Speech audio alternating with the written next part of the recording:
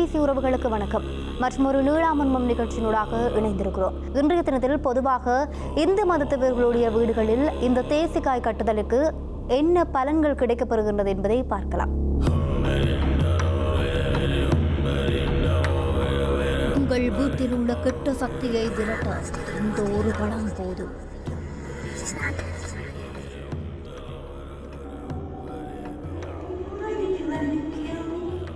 இந்த தேசிக்காயை வீட்டின் வாசலில் தொங்க விடுவதால் இதற்கான விஞ்ஞான விளக்கங்களையும் ஒரு தொகுப்பாக பார்க்கலாம். எலுமிச்சை கனியை நல்ல சக்தியை பெறவும் தீய சக்தியை ஏவிவிடவும் பயன்படுத்தி வருகின்றனர். இந்த எலுமிச்சம் பழத்தை கோவிலில் கொடுக்கும்போது அதன் சக்தி நல்ல சக்தியாக வலுப்பெற்றிருக்கும். வீட்டில் தொழிற்கூடங்களில் உள்ள எதிர்மறை சக்தியை விடவும் நேர்மறை சக்தியை அதிகரிக்கவும் எலுமிச்சம்பழம் பயன்படுகிறது.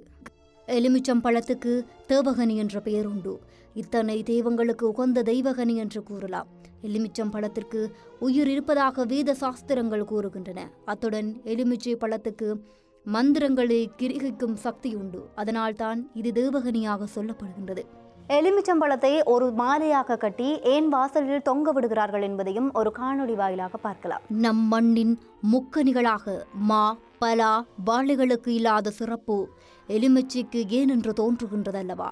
அது ஏனென்றால் மாம்பழத்தில் வண்டு குற்றம் உண்டு பலாவில் வியர்வை குற்றம் உண்டு வாழையில் புள்ளி குற்றம் உண்டு ஆனால் எலுமிச்சை மட்டும் எந்த குற்றத்திற்கும் உடன்படவில்லை என்று முன்னோர்கள் எலுமிச்சையை தேவகனி என்று பெயர் பெற்றிருக்கிறார்கள். நல்ல காரியமாக நாம் யாரையாவது பார்க்க போனால் நம்முடன் எலுமிச்சம் பழத்தையும் கொண்டு போனால் அந்த காரியம் நிச்சயம் வெற்றியடையும். தெய்வ வழிபாட்டில் கனிமாலை சாத்தும் வழக்கம் இருக்கின்றது. கனிமாலை என்றால் அது எலுமிச்சம்பழ மாலையை குறிக்கும். துர்க்கை பத்ரகாளி மாரியம்மன் நடராஜர் வைரவர் போன்ற தெய்வங்களை பூஜிக்கும் போது எலுமிச்சை மாலை சாத்துவார்கள். துர்க்கை பத்ரகாளி போன்ற உக்கிரமான தெய்வங்களுக்கு கனிமாலை அணிவித்து வழிபட்டால் நீங்கள் நாள் தடைப்பட்ட செயல்களை கைகூடும் என்ற நம்பிக்கையாகும். எலுமிச்சம் பழத்திற்கு இருக்கும் சக்தி அளப்பெரியது. மூன்று எலுமிச்ச பழங்களை வாங்கி வைத்துக் கொள்ளுங்கள். சுபகாரியத்துக்கு செல்லும் போதோ வெற்றியை நோக்கி செல்லும் போதோ இந்த கனிகளை அம்மன் கோவிலின் வாசலின் முன்னர் இருக்கும் திரிசூலத்தில் சொருகிவிட்டு போனால் நிச்சயம் வெற்றி கிட்டும். இந்த எலுமிச்சையை கட்டுவதன் மூலமாக தீய சக்திகள் அதாவது வீட்டுக்கு இருக்கக்கூடிய தீய சக்திகள் அகலும் என்று எமது மூதாதையர்கள் கூறியிருக்கிறார்கள். அது உண்மையா பொய்யா என்பதையும் ஒரு காணொளி வாயிலாக பார்க்கலாம். ஒருவரது வீட்டில் எதிர்மறை ஆற்றல்கள் அதிகம் இருந்தால் அந்த வீட்டில் உள்ளவர்களுக்கு அடிக்கடி உடல்நல குறைபாடு ஏற்படும். உறவுகளின் இடையில் பல பிரச்சனைகளை சந்திக்க நேரிடும். அந்த வீட்டில் செல்வம் நிலைக்கவே நிலைக்காது. எனவே எதிர்மறை ஆற்றலை கண்டறிந்து அதை வெளியேற்ற வேண்டும். மூன்று எலுமிச்சம் பழத்தை எடுத்து இரண்டாக வெட்டி நமது வீட்டின் பல்வேறு பகுதிகளில் வைக்க வேண்டும். அப்படி வைத்த எலுமிச்சம் பழத்தை மஞ்சள் கருப்பு நிறத்தினால் மாறினால் அதை தூக்கி எறிந்துவிட்டு மீண்டும் புதிய பச்சை எலுமிச்சையை வைக்க வேண்டும். மழை நீரில் எலுமிச்சை பழத்தின் தோலை கொதிக்க வைத்து வீட்டின் தெளிக்க வேண்டும். இதனால் கெட்ட சக்திகள் அனைத்தும் அகன்றுவிடும். நமது வீட்டில் உள்ள எதிர்மறை சக்திகளை வெளியேற்ற ஒரு எலுமிச்சையை நான்கு பகுதிகளாக வெட்டி ஒப்பு பரப்பிய தட்டின் நடுவே வைத்து கட்டிலுக்கு அடியில் வைத்து மறுநாள் காலையில் அந்த எலுமிச்சையை கையால் தொடாமல் ஒரு பிளாஸ்டிக் கவரில் உப்புடன் சேர்த்து போட்டு தூக்கி வீசிவிட வேண்டும். இந்த முறைகளை பின்பற்றும் போது வீட்டில் உள்ள கெட்ட சக்திகள் முழுமையாக நீங்கி வளம் பெறலாம். இந்த பரிகாரம் செய்யும் போது நாம் வீட்டில் தனியாக எலுமிச்சையை வாங்கி பயன்படுத்த வேண்டும். சிவகங்கை மாவட்டம் மடப்புறம் காளி கோயிலில் அம்பாளுக்கு அணிவிக்கப்படும் எலுமிச்சை அனைத்தும் பிரசாதமாக தரப்படுகின்றது. தஞ்சாவூர் மாவட்டம் வல்லகம் மேகபுரி அம்மன் கோயிலில் குழந்தை பாக்கியமில்லாத பெண்களுக்கு எலுமிச்சம் சாறை பிரசாதமாக கொடுக்கின்றார்கள். இதை பருகினால் கர்ப்பமாவார்கள் என்பது ஜதீகம். கோவில் பிரசாதத்துக்கு கொடுக்கும் எலுமிச்சம் பழத்தை வீட்டுக்கு கொண்டு வந்து சிலர் அப்படியே போட்டு விடுவார்கள். அது தவறு. கோவிலில் இருந்து கொண்டு வரப்படும் எலுமிச்சம் பழத்தை என்ன செய்ய வேண்டும் என்று பார்க்கலாம். கோவில்களில் சாமி கும்பிடும்போது சிலர் எலுமிச்சையை வாங்கி கொடுப்பார்கள். சாமி பாதத்தில் வைத்து எடுத்த கனியை பரிசாக புறப்படும் இந்த எலுமிச்சை தெய்வ அருளை பெற்றது என்று நம்பிக்கையாகும்.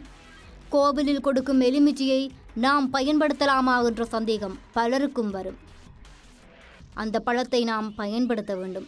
பிரசாதமாக வாங்கிய பழத்தை சிலர் வாகனங்களில் வைத்திருப்பார்கள். இரண்டுக்கும் மேற்பட்ட பழங்கள் கிடைத்தால் அதை நாம் ஜூஸ் போட்டு குடிக்கலாம். தேன் சர்க்கரை மட்டுமே சேர்த்து சாப்பிட வேண்டும். மறந்து உப்பு கூட சேர்க்கக்கூடாது. அந்த எலுமிச்சை பழத்தை சாறு புழிந்து தேன் அல்லது சர்க்கரை கலவில் தடந்தி குடிக்கலாமே தவிர எந்த காரணத்தையும் கொண்டு உப்பு கலந்து குடிக்கவே கூடாது. நம் வீட்டில் சாதாரணமாக வாங்கும் எலுமிச்சை சோடா உப்பு கலந்து குடிப்பார்கள். ஆனால் கண்டிப்பாக கோவிலில் கொடுக்கும் எலுமிச்சையுடன் மட்டும் உப்பு சோடா சேர்க்கவே கூடாது. எலுமிச்சம்பழத்தில் திருஷ்டி சுட்டக்கூடாது என்று எமது மூதாதையர்கள் கூறியிருக்கிறார்கள். அதற்கான காரணம் என்ன என்பதையும் பார்க்கலாம். சிலர் எலுமிச்சம்பழத்தை திருஷ்டி சுற்றுவார்கள். கோவிலில் இருந்து பிரசாதமாக வாங்கி வீட்டுக்கு கொண்டு வரும் எலுமிச்சையை திருஷ்டி சுட்டி போட பயன்படுத்தக்கூடாது.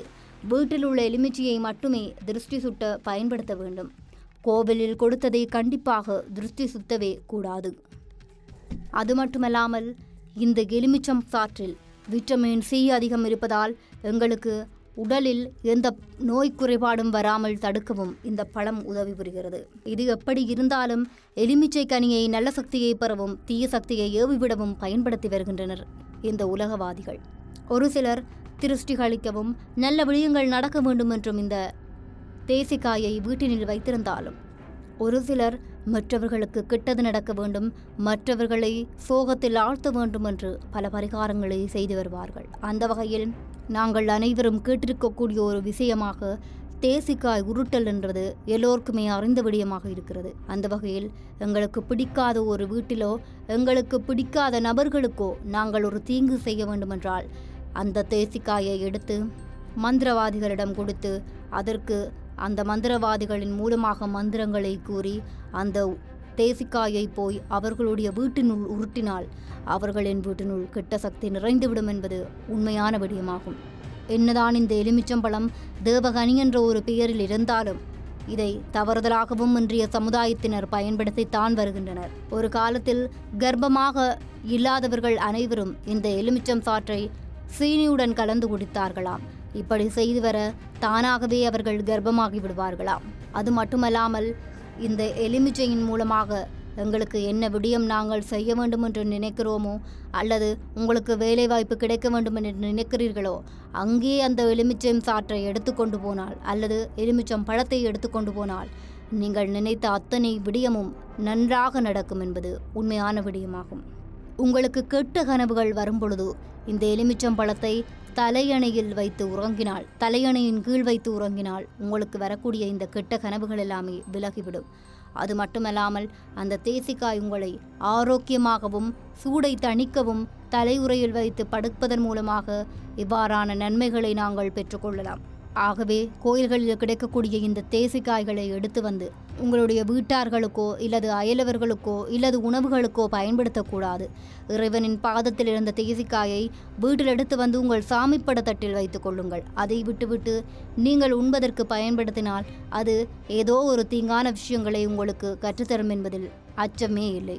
எது எவ்வாறு இருந்தாலும் ஒவ்வொரு விடயங்களிலும் இருக்கக்கூடிய நல்ல விடயங்கள் எல்லாம் இன்றைய காலத்திற்கு அதை தீய வழிகளிலும் ஊற்றெல்ல இன்றைய சுயநலவாதிகள் உருவாக்கி கொண்டே இருக்கின்றார்கள்.